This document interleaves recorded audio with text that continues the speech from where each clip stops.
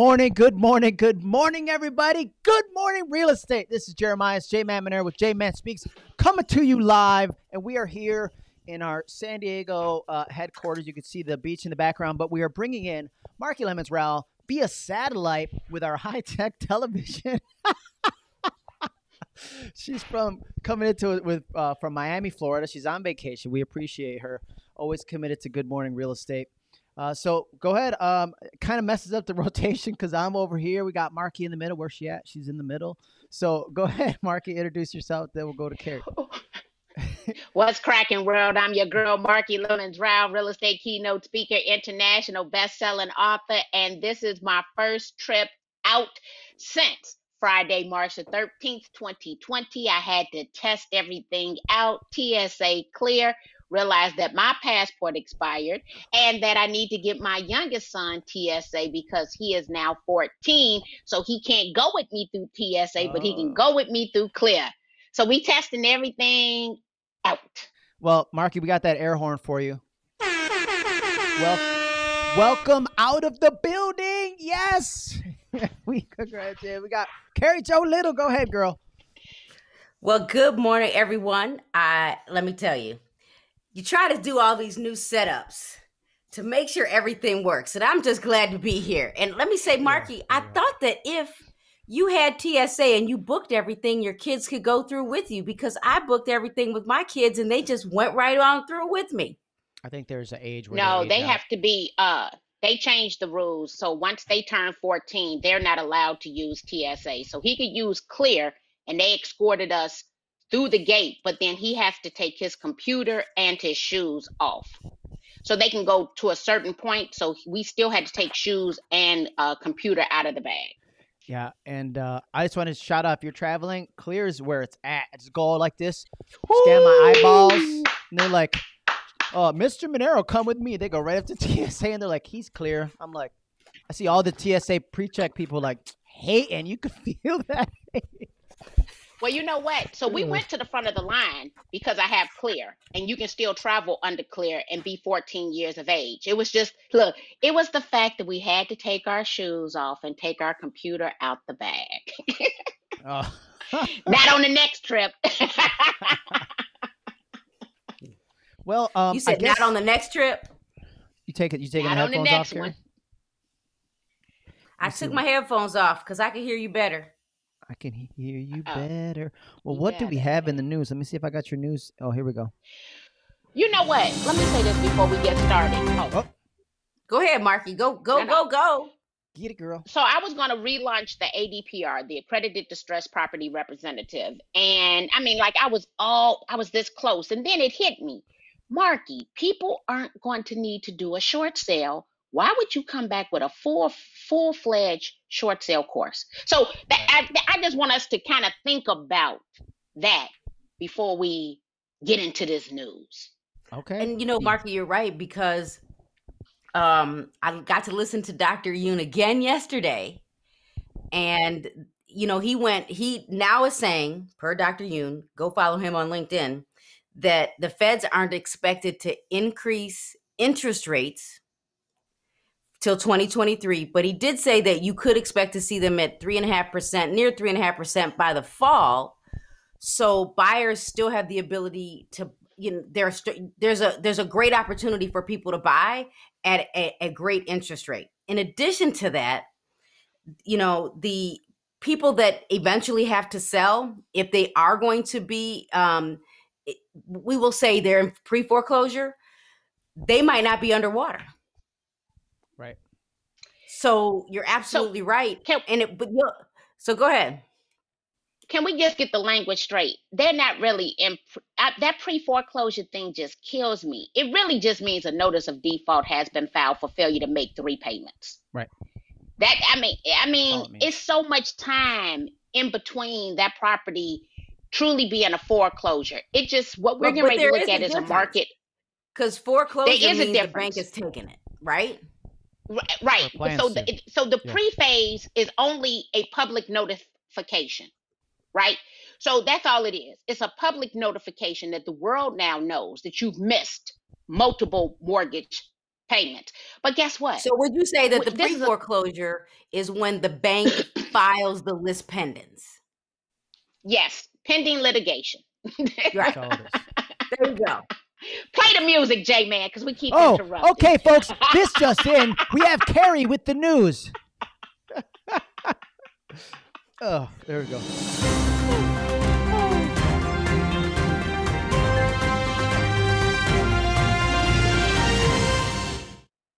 So, eviction moratorium should be lifted by the end of June.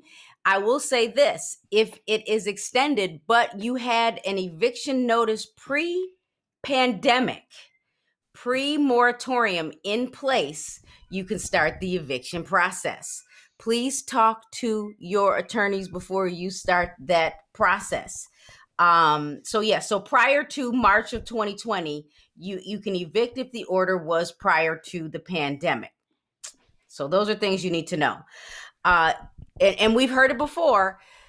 New construction, um, people there are more. There's more new construction south in the south uh, states.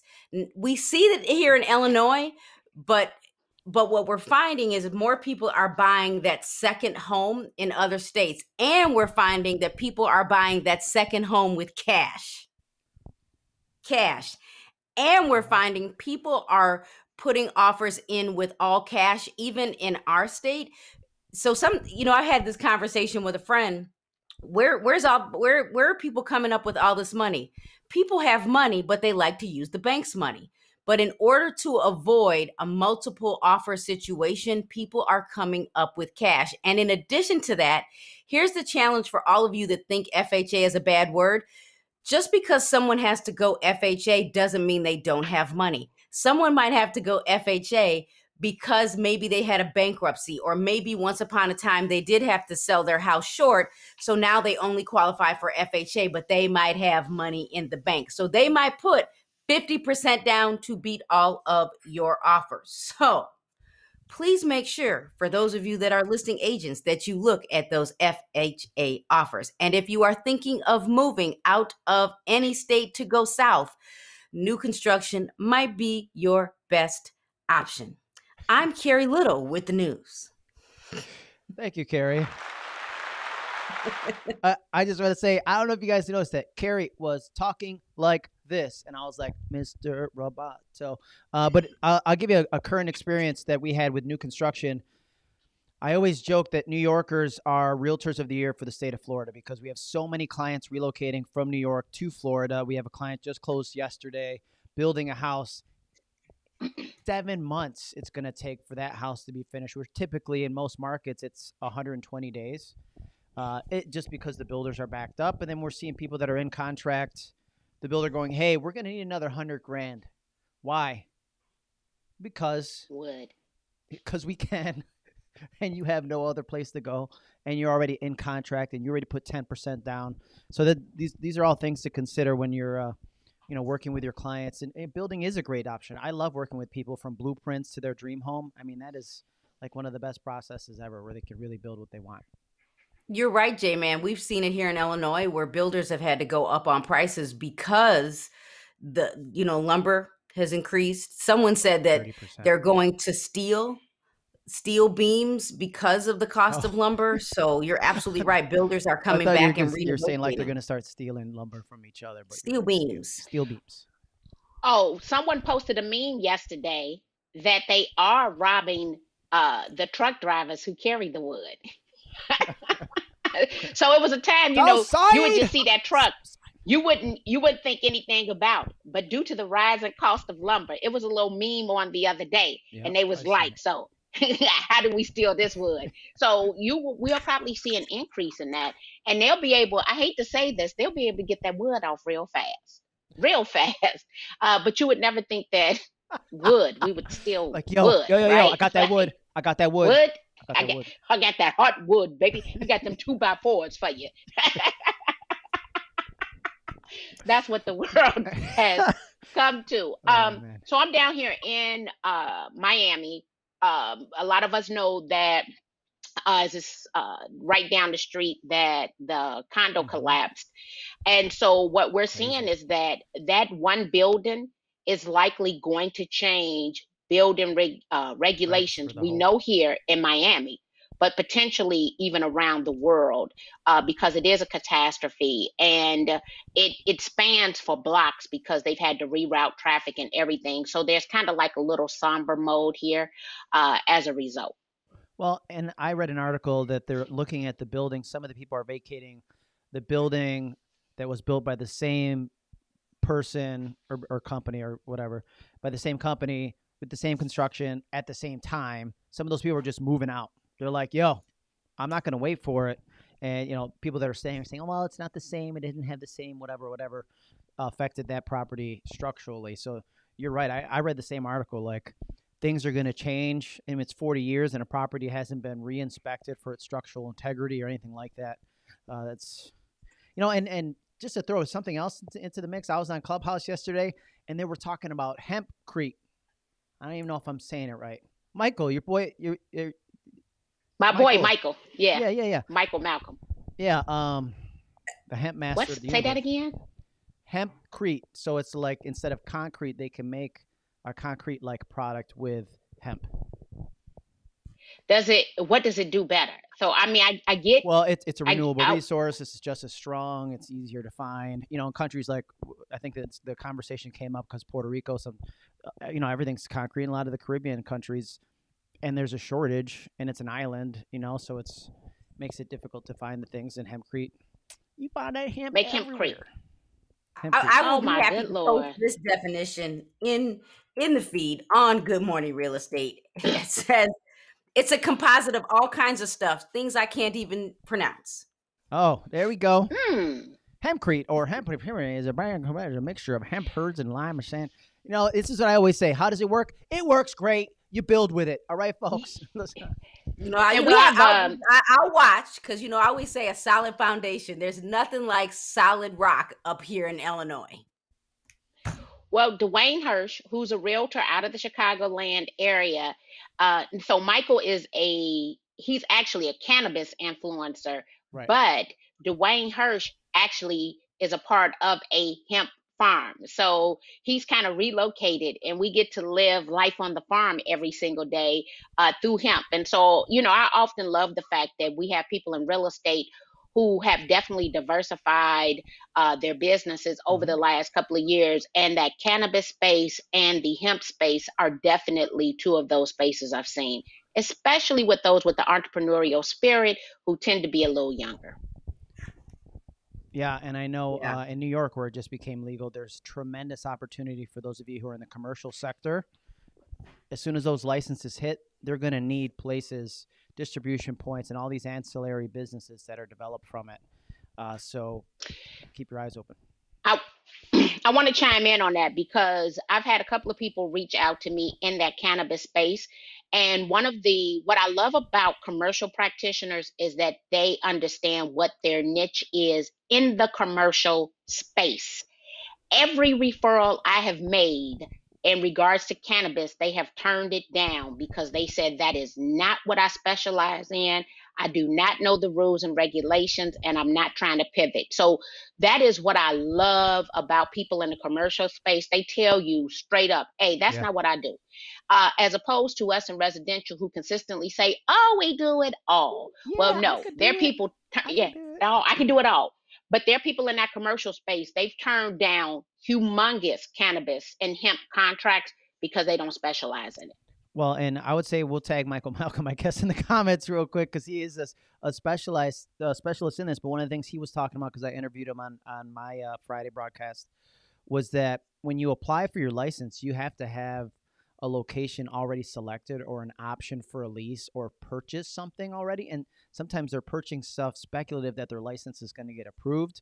So be thinking of that. There is, you know, somebody might, you got big, a lot of money coming in. They, they might do 5, 10, 15 locations uh, because it's, you know, in New York, it's, it's brand new. I think it was April they legalized it or decriminalized yeah, we have specific rules in Illinois already, but I just Googled New York and – I don't see the rules as fast, but Uh, you can possess up to two ounces for personal usage. Look at not to say that I ever did it, but if I did, two ounces would be way too much for personal usage. I'd be like this. They're coming. Yo, Carrie, Marky, they're coming for us. Let's go. Yo, they're coming to get your kids. So, you I'm pretty progressive, guys, but let me say this. I was not a weed smoker. I still am not a weed smoker. I smoked marijuana the first time for New Year's Eve 20, 2000 because they said the world was going to come to an end and I figured I should have a high experience. That, that was it? That was your end of world drug that you chose? Yeah, like... yeah, yeah, so that was like, oh, let me go and try this marijuana out. And here's the craziest thing high. about it. So my girls was like, oh, this straight. I'm like, oh, is this supposed to be fly weed? They was like, yeah. And I'm like, well, I don't feel high. This was the mistake. Someone said, well, you got to get high again to know you was high this time. I said, this will not be my drug of choice. if, if it's a delayed reaction, oh. I got to do it again to know if it worked this time. Um, so, hence, well, let's, why let's, I don't we kind of went went down a rabbit hole. But let's let's go back to the rental moratorium, and I think it's a great opportunity for you to reach out to any investor clients that you have, people that own rental properties. I say this every month, but you guys aren't doing it. It's really easy. Go into your your your uh, whatever you're using for your tax record. Look for people that have their billing address is different from the property address. That means that they don't live there. They're not owner occupied.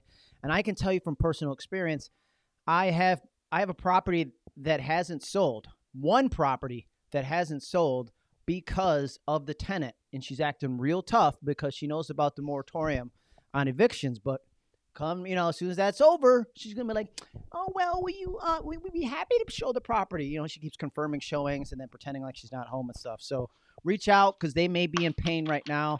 Uh, they may be ready to either, you know, make those properties vacant so you could put them on the market. Uh, I know we we we had investors come to us and say, "Hey, could you put this on the market with a tenant in there that doesn't want to show it and that is not paying? I'm like, we could, but you're gonna have to discount it so much. It's probably not worth it. Just sit on it and, and hold it and wait.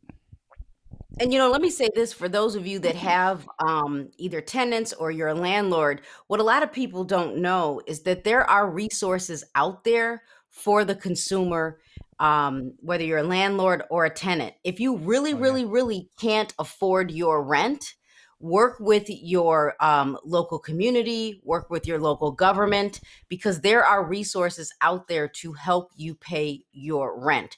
No one wants to put anyone out on the street, but we also know that landlords need to pay their mortgages as well.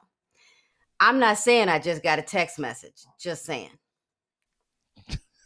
so let me yeah. let me say this um, I, in my monthly coaching class, I had an epiphany last week. When we, a couple of things we know. We know that tenants have not paid their rent. What I'm telling realtors to do, and I want you to do this today, fellow realtors, is I need you to identify what is one of the biggest building property issues in your municipality. So in the city of Chicago, we have uh, two to four unit buildings. They have these back porches. Back porches are huge issues in the city of Chicago. so we know these are investment properties. We know they aren't receiving their rent payment. We also know that they probably have some back porch issues. When I think about driving for dollar mastery, what I'm telling people is drive the alleys. Go and look for back porch structural issues and do direct mail campaigns to those landlords, to those investors, because a couple of things. The likelihood is they're not getting all of their rents. The second thing is they probably have a building violation and go through the Freedom of Information Act to pull those building violations. Mm-hmm. There are so many people suffering right now with their property ownership. I know we got a lot of people who want to buy and that we're in a hyper sellers market. But every person who owns is not enjoying the experience. 100%. Stop doing what everyone else does. Think outside of the box. So when I reached out to Skylar, I'm like, drive for drive the alley. He was like, oh, that yeah, that's a whole nother concept. I said, because no one is doing that. Just driving through, and here's what's funny: on the, in Chicago, there are pockets of nothing but multifamily buildings. So you could drive these alleys, you know, four four blocks by four blocks. you could come up with 10 to 15, sometimes even more properties that you can see is a back porch issue. Right. Go in deep. Talk that pain point language to them. We know you got deferred maintenance. Heck, I just spotted it. And here's the next thing take a picture of one of those properties to put in your direct mail piece so that people can identify themselves when they see the picture. Yeah, and I'll say in Rochester and some of the other municipalities, we can look right online. I could look up the, the property address. There's a property portal and see if there is any open violations. I can't necessarily see what they are, but I can definitely see uh, what the violations are. We got Princess saying I should try edibles in the comments. Uh, Princess, I don't know. I'm gonna try edibles or nothing else. I need some of that cream for my joints because I run a lot and I'm 40, you know, 40 something years old. I'll rub that cream to drink that weed water or something make me feel better. Uh, but let's get to the NAR 2020 report. What about that? Because it's usually they usually call it the profile of home buyers and sellers, but for this year only because 2020 was so special, they renamed it the NAR 2020 report. You know, back in 2006, one of the reasons I use social media and technology is because of the 2006 profile of buyers and sellers. It has been a go to resource for me for 15 years uh, just to have that broad overview of what the industry is doing. I believe that that was carrie was that the report that you was digging into? Yeah i have it in front of me now the 2020 report. so what we want to highlight. Yeah you know what's interesting is they're showing you the age of home buyers and sellers and they're showing you um you know the share of buyers and sellers by generation that millennial is taking millennial uh, group of is 14% of the buyer pool but only 4% so just looking at the at the gen y group when you look at pew research based on how they use social media that's that means to me that we still need direct mail because the gen xers so the older millennials and the Gen Xers and the baby boomers and the older boomers and the silent give you the the bigger pool of listings right now. So I'm not saying that you right. shouldn't still market to get a seller on social media because we do. Some of us still get sellers on social media, but you are more likely to generate a seller lead by Operation I've Got Houses for Sale or what's yours called, J-Man? Get sellersnow.com. GetSellersNow.com. Drive the alley mastery. right. I like, well, I like that. Marki boy, you can come up with some titles. Because Gen Xers, there are more Gen Xers selling right now um, than buying, but it's 25 to 24%. The younger boomers, 22% are selling, 21% of the older. So if you look at the boomers alone and the Gen Xers, they're taking up a, a, really close to 65% of listings. So if you're out here and you're only take if you're only posting on Instagram, you need to go look because the Gen Xers and the baby boomers are more likely to be on Facebook, but they are more likely to collaborate with you because you sent them a direct mail piece and they could Google you and they saw you on Facebook, but they're not going to comment on Facebook because clearly I have a boomer that sent me a text based on our show today. Boomer, listen here, Boomer. Um, go ahead, Mark. You want to say something? I'm ready. I was going to say something. Um, one, I definitely agree with the direct mail piece, right? And I'm looking for property not only for my agents, but I'm also looking for property for investment purposes. I think now is the time to become more strategic with a true step by step plan. And we have to talk to those pain points. And I'm not going to sell my house. And so there is a percentage. What what what generation am, am, am I? I'm 50. I'll be 51. Which where where is that putting me on that age bracket? I, I do believe you are the older Gen Xer. So less, I would say less young, Gen Xer, less young Gen Xer, less, young, less young like Gen Xer. Thank you, less young. And here's the problem: me and numerous of my neighbors, we cannot afford to sell because we live in a community that is worth three to four times more than when we purchased. So that means that our right. principal, interest, taxes, and insurance my, my, my comps right now are six, six, six. Let me say I have eight hundred thousand dollar comps, but my comp is not that house. So let's say my house is worth six hundred thousand. Where am I going to live? Principal, interest, taxes, and insurance in a house that is less than fifteen years old, right. and my PITI is two thousand dollars, like nineteen. Over here by me. You can come. You can come by me, Marki. We ain't doing that. Like uh, Steve is not gonna spend that much money for gas. We we're not coming to the suburbs. That was a condition of us getting married. She, she didn't no, it ain't, it, ain't, it. ain't, ain't, ain't nothing thinking about. It ain't nothing to think about. It's gonna alienate us from all of our, uh, you know, our friends, our family. We live next door to my husband's best friend for forty years. So yeah, you guys yeah, have a nice gonna... And then we yeah, gotta put money nice Group. We have a nice group because we so, drive that hour so and twenty spend... minutes to come hang out. Yeah, yeah, well, you want me to put down a couple of hundred thousand dollars to get back down? Your taxes are probably more expensive than my taxes. Yeah, that ain't. Mm-mm. And you live in Iowa. Who does that? No. well, let me, let me just uh, speak you to from like, the west side. Like no, you know, knowing your audience and who you're prospecting and being smarter about it. You know, Carrie talks a lot about Remine. If I'm gonna prospect a neighborhood or even like a a company like SmartZip, where they will they will direct mail a market, an MSA, a market service area, the people who are most likely or more likely to sell rather than the entire area. You're wasting money on somebody who just bought a house, somebody who's, you know, you use the data, use the predictive analytics. And I say, look, snail mail is great, but also in New York State, if you guys don't know, we couldn't do any kind of cold calling during a state of emergency.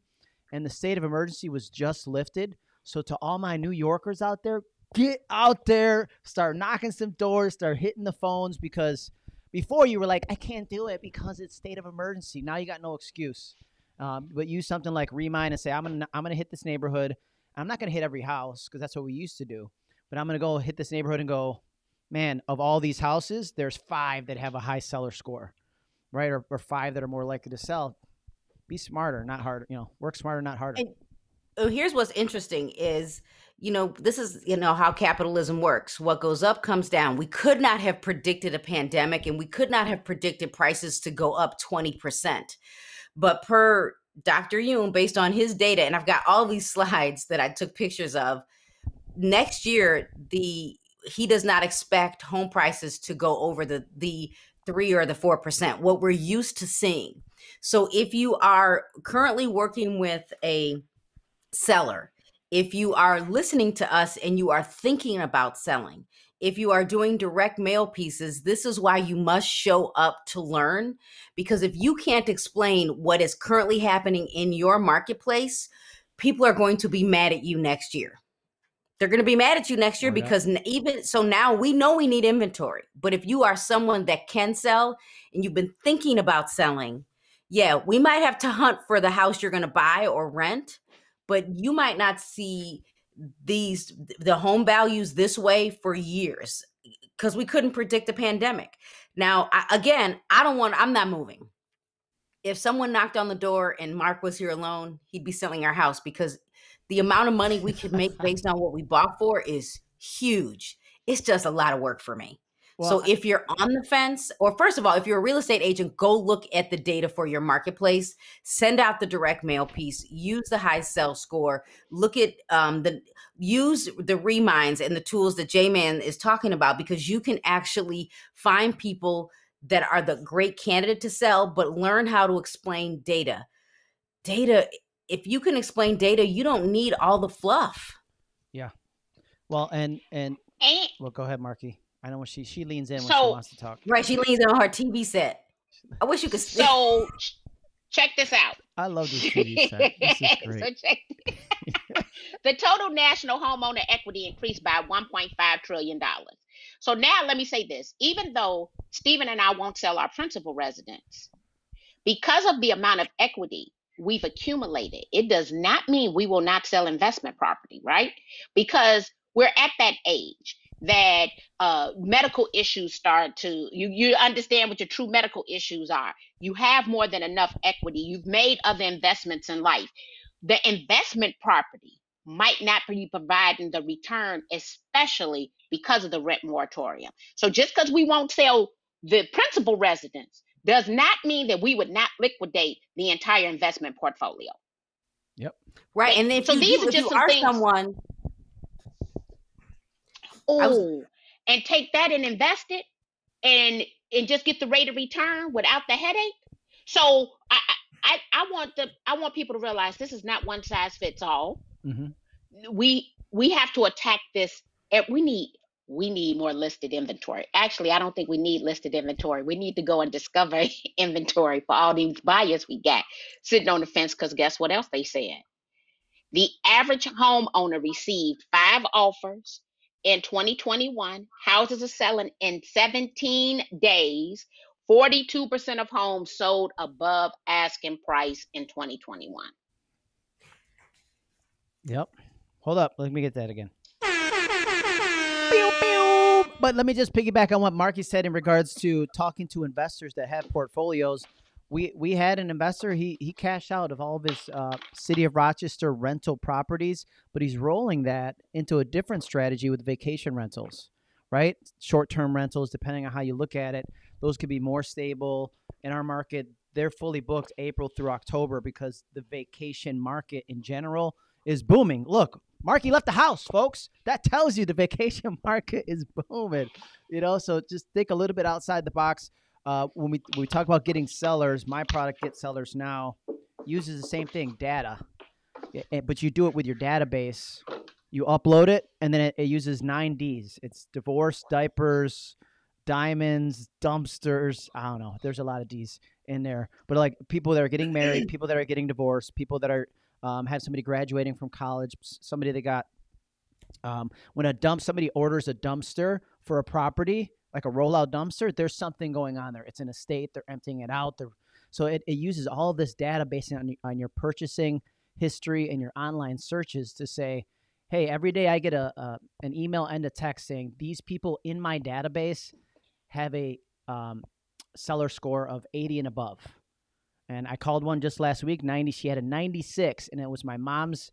My mom's a hairdresser for 50 plus years. Mom, if you're watching, I'm sorry I told everybody that you've been doing it that long. But uh, my mom's client, I'm like, Mom, what's going on with Wendy? She's like, Oh, Wendy's daughter is moving to the area. So it wasn't necessarily a seller, but Wendy was doing searches for moving trucks, was doing searches for all this other stuff for her daughter. I sent Wendy a message like, Hey, a crystal ball told me because I'm trying out different scripts, right? I was like, Crystal Ball told me that you might need a real estate superhero. Is that true? And she was like, Actually, I do. I'm so happy that you called. So the when you when you look at the data, you're gonna look like Nostradamus. Like you just call the people and they're gonna be like, Wow, that's amazing. I can't believe you called. I was just thinking about selling my home. Yeah, because JMan is you know cold calling. well, that's a warm call. Every dumpster yeah. Every dumpster that we've ever ordered was for a clean out due to hoarding. That means that a sale is coming. We might not have listed the property, right? Because you you can't see past other people's trash, right? Mm-hmm. And I actually sold a house on Facebook, went the dumpster outside as soon as we could get that first floor clean. I posted some pictures, I posted the amount of stuff that came out. I did not list the property and sold it via Facebook off of the post. An investor rolled down on me within an hour with the cash offer and paid for the cost of clean out. There you go. You can't see past other people's trash. Well, it, you know, there was I had an idea this morning while I was I was running, and it gets humid AF. I tell you. First of all, let me just say that. But the um, I was running and I I I followed a videographer in our market, and I'm like, he posts the videos that he does for agents before the properties hit the market. So at least if you want a jumpstart on what's coming to the market, follow the people that do video in your market because the, those dudes are posting it to their YouTube channel first. So you can at least call your client, yo, there's a listing coming tomorrow uh, on 123 Anywhere Street. How do you know? Crystal ball. Right? Boop. That's a great tip. Like, that's a freaking awesome tip, especially if they're the source that houses it, right? So, contingent upon that agreement, the copyright for your videos and your photos, I never thought that freaking genius. What about if you use the, the private status and you went in the private status and say, "Hey, I just want to let you know we got about twenty properties coming to the to multiple listing service in in this city. Do you, you know? But they're not actively in the standard. They're not syndicated everywhere. I know we got to change the word for the consumer, but there's a few ways we could use that. Um, I know it's sometimes I have that was my good idea for the day, but I, I think let's finish off with uh like changing markets because what we're seeing, and I had to have this conversation when you're setting up your.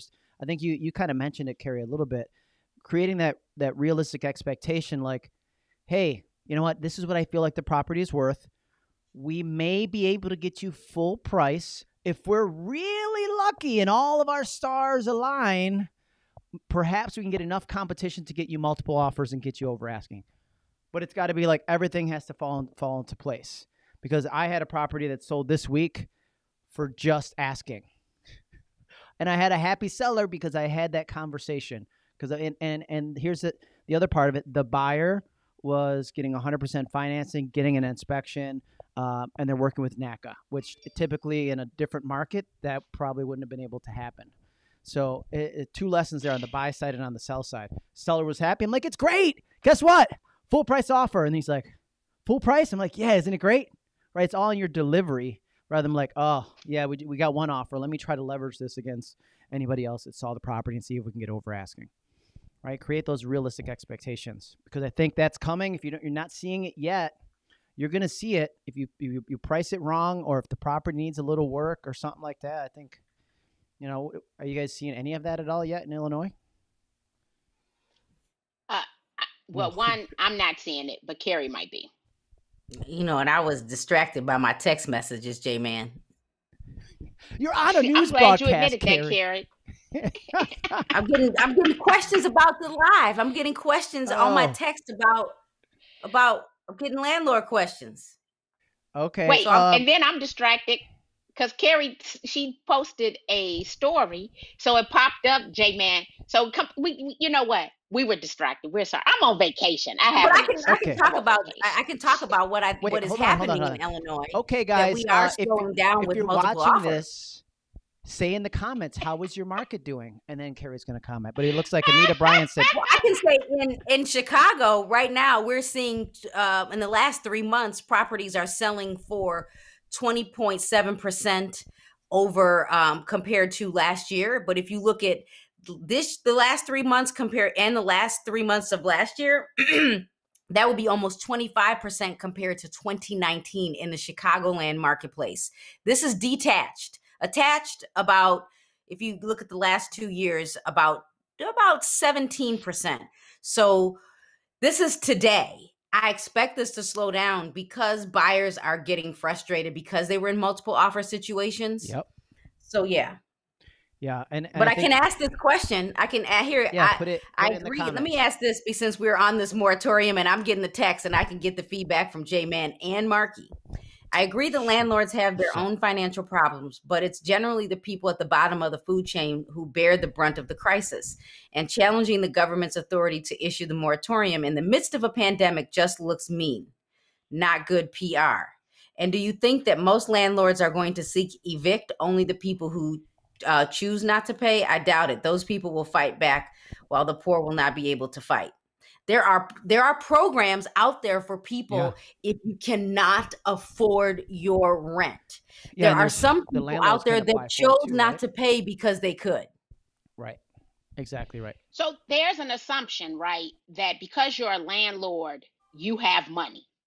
Right. And so they're they're poor landlords, especially in underserved communities. Okay. So if you are a landlord, let's say in the city of Chicago on the south and the west side, it is very likely you're getting the least amount of rent for the same identical three bedroom, two bathroom unit, right? And I often say selling real estate while a minority often puts you in a lower price bracket, especially in cities where we have economical and racial segregation, which is what we see in the city of Chicago.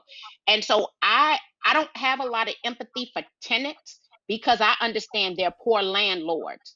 And at the end of the day, not only are we jeopardizing that rental property, you're also potentially jeopardizing their primary residence. So I think there might be an assumption that and, and their subsidy programs right now it's never been a better time in this world to not have money hence the reason they're not going to work because the unemployment supersede like i got a whole lot of stuff that i could just vent about on this whole situation um, but i think there should be empathy for right. those who saved their money bought real estate and provided fair fair housing yeah.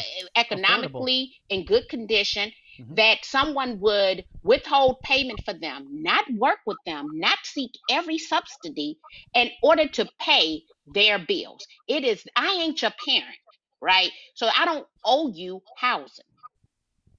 I'm, Let know. me say this.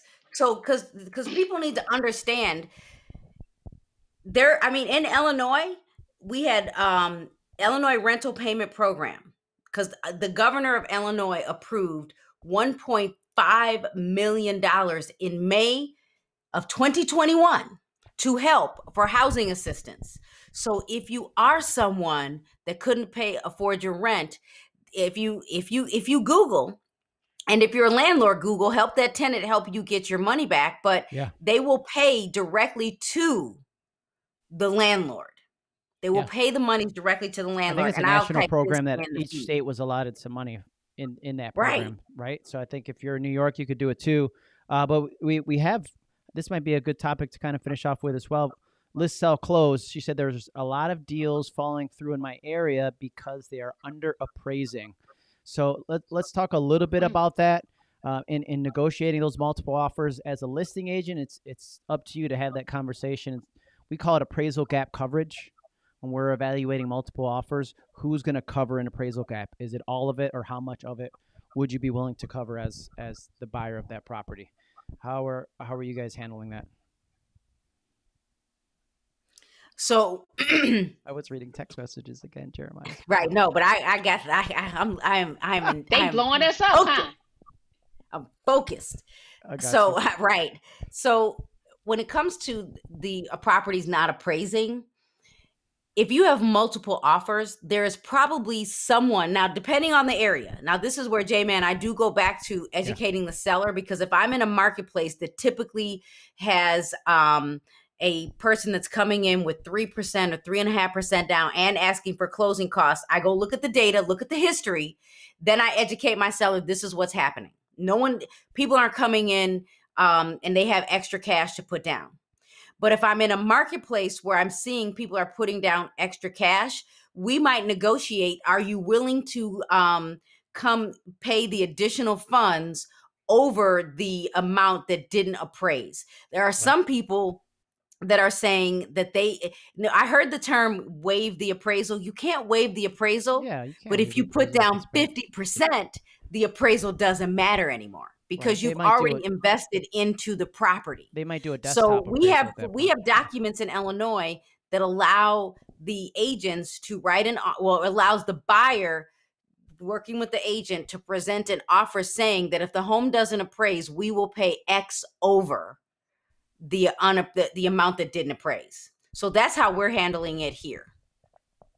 Yeah, I mean we're we're mm. doing something similar because it, again, it's evaluating. Like if I have a property that's selling for three hundred thousand dollars, and all offers are about the same, right? 30, 300, 305, 303 over they come in at, but the they're all twenty percent down. Then we go to each one and say how much of the appraisal gap, if it you know, and we're optimistic.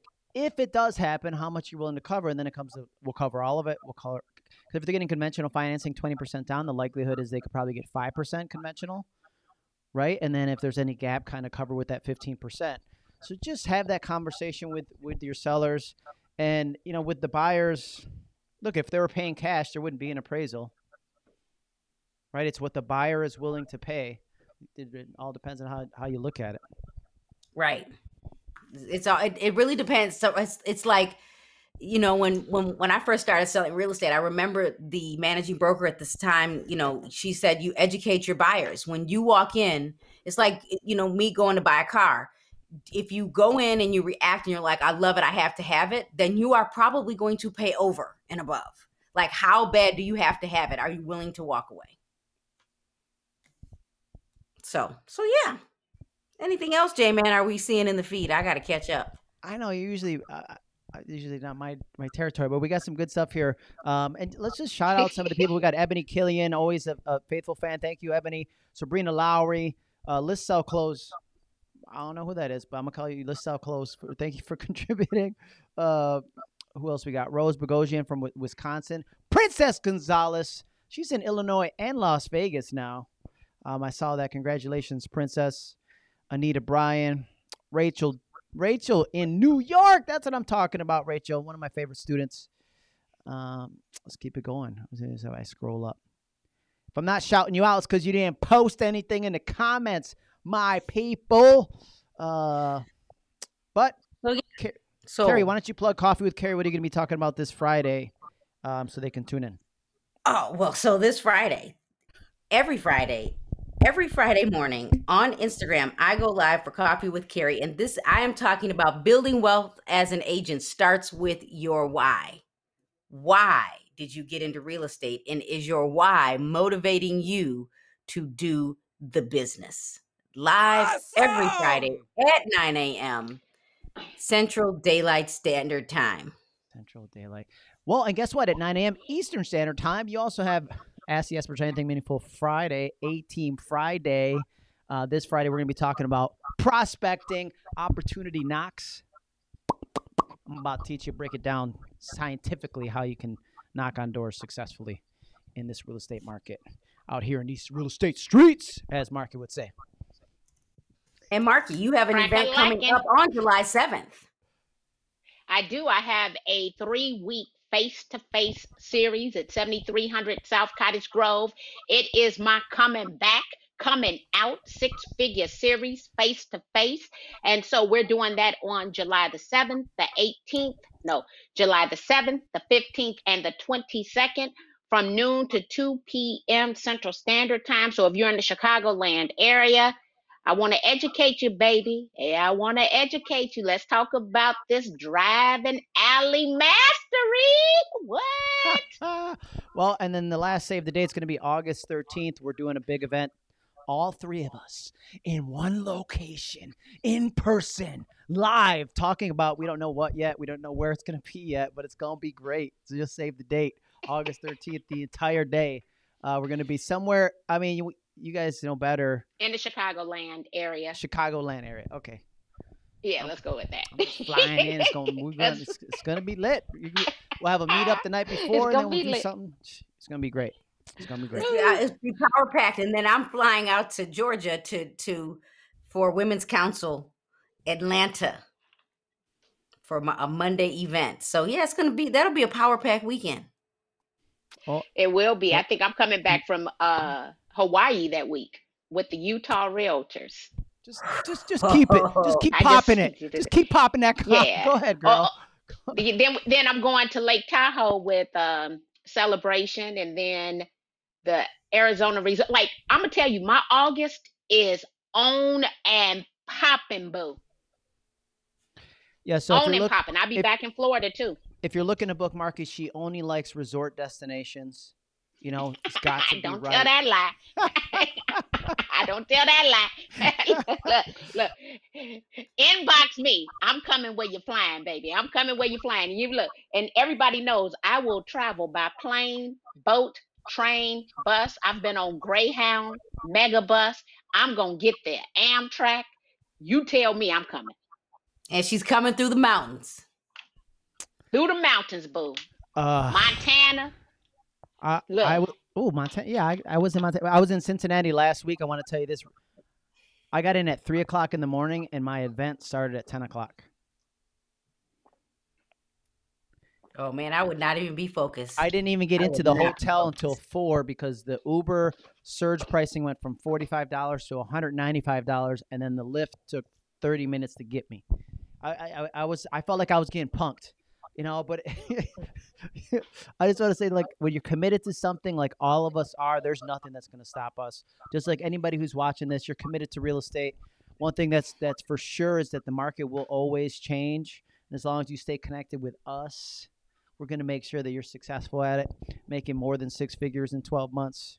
You're going to have to probably change that for next year. It's going to have to be like mid six figures in 12 months or something Marki.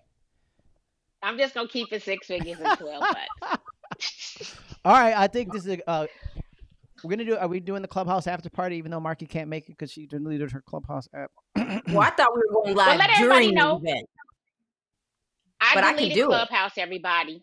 I deleted Clubhouse, Snapchat, TikTok, uh, and Twitter. Uh, and with no intentions on going back, I plan on taking that time and focusing on lipedema awareness. Some of you know I was diagnosed with lipedema 8 mm-hmm. weeks ago. 17 million American women have it, 370 million women worldwide. It is undiagnosed. I say underdiagnosed, it is undiagnosed. And I want women to stop thinking they fat. They got lipedema, a fat disorder, and once they know they can do something about it. So I let go of all that stuff so I can focus on advocacy. All right. Well, we'll we'll hop over to Clubhouse for a little bit. We're gonna let Marki go back and enjoy her Welcome to Miami. Go get it, girl. Um, let's hit him with some straight fuego on the way out.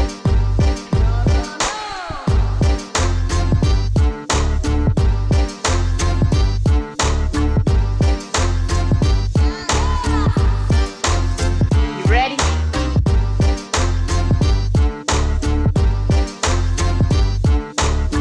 The clubhouse link is will be in the comments. Peace out, everybody.